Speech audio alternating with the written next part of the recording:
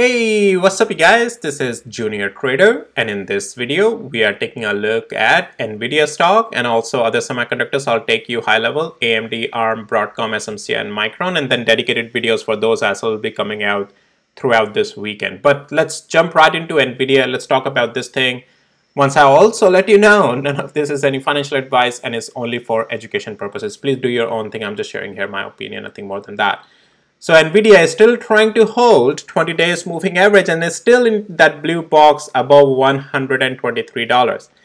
As I said in my video yesterday, it's a make or break day for Nvidia. So guys, it all comes down to if it can close strong above 125. At, the, at one point it was above 125 or is it going to go below 123? That still remains the case to be a deciding factor in NVIDIA.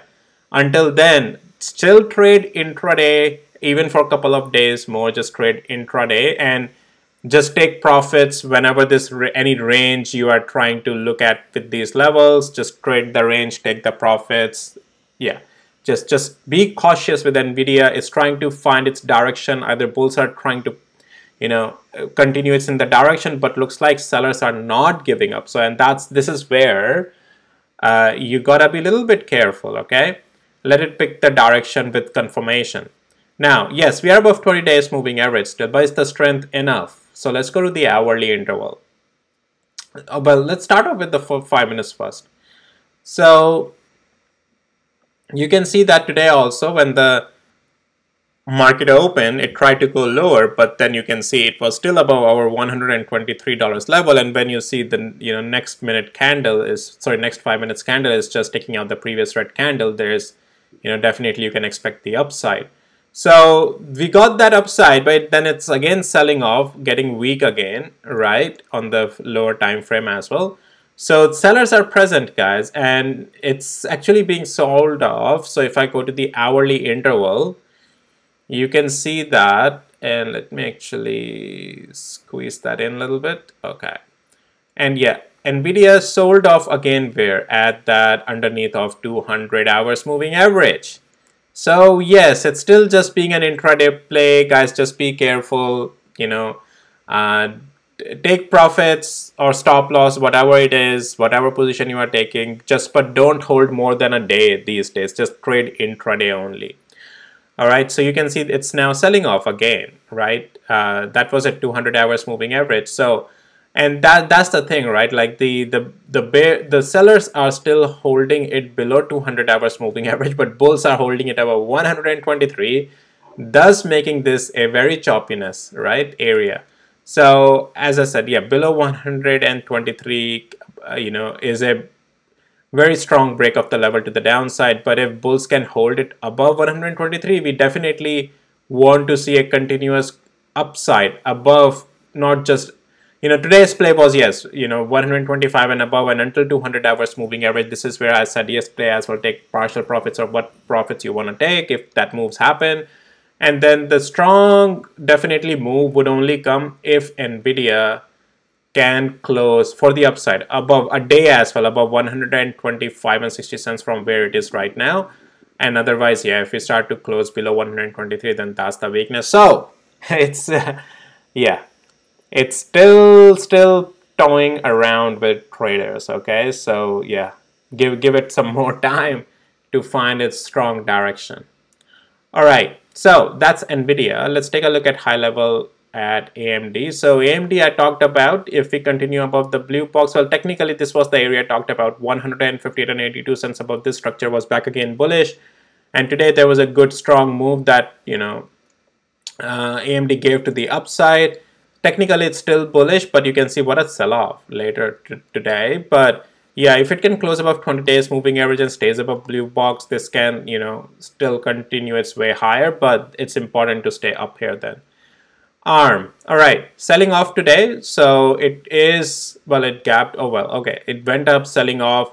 If it continues to lose 164, at least this, this cool off can happen, okay, until 20 days moving average. But that would be it, nothing more than that. Um, yeah, structure technically on this is still bullish. So let this pullback happens just like before. This pullback happens, then got bought back up at the blue box. let this cool off happens and then you can see 20 days moving average or 200 hours moving average on the lower time frame. Broadcom finally tried to show some strength today on that green thing and tried to go above one one of the level 16 17 let's take a look at hourly interval. And then this thing gave up as well. Okay yeah it's uh, underneath of 200 hours moving average. At this point, if Broadcom can start closing the candles of the day above 1618 area or 1620 area, then some strong upside may come, but otherwise, no, this thing may not. All right, so let's take a look at SMCI. Poor thing, a sell-off day today on this. So yesterday, above 855, it was an upside play, and unfortunately, it's just not holding the level up here, guys. So if it's not holding the level up here, well, then yeah, you should not be in the position. Anyhow, whenever these levels break like 882 and 854, size out your position or, you know, if you were buying building position at the break of the level 855, when you start to see the level break 882, take partial profits out. And when you see the next level break, it's you have to decide if you got out fully out structure I would not say it's fully bearish but just this one red candle is then negating the previous green candle right so as per the technical trading uh, yeah you should not count too much on this red candle. Yeah it all comes down to if today it can close above 855 or the next day can it can get above 855 again. But I would say trade it intraday only. Sellers are still holding a strong uh, supply zone on SMCI as well. Yeah you can see continuous red red red. All hourly candles are red today. So anyways I'll talk more about it later as well. And Micron so Micron okay here's the thing.